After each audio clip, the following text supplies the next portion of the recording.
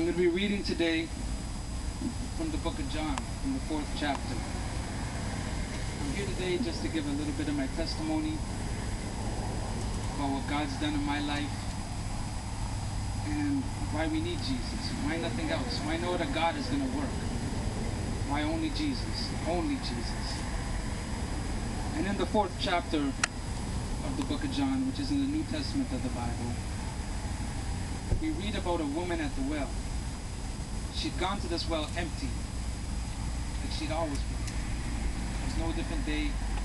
And there while she was drawing water out of the well, Jesus approached her and asked her for a drink.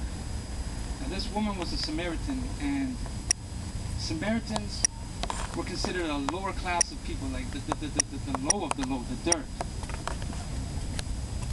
And she didn't know Jesus personally.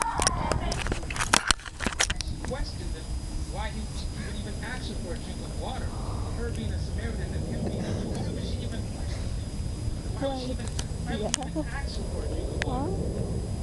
And Jesus said to her, if you knew who I was, you would be asking me I zoomed it in before I started. Mom, just okay. never thirst again. And we pick it up in verse 15, and it says, The woman said to him, Sir, give me this water, that I may not thirst,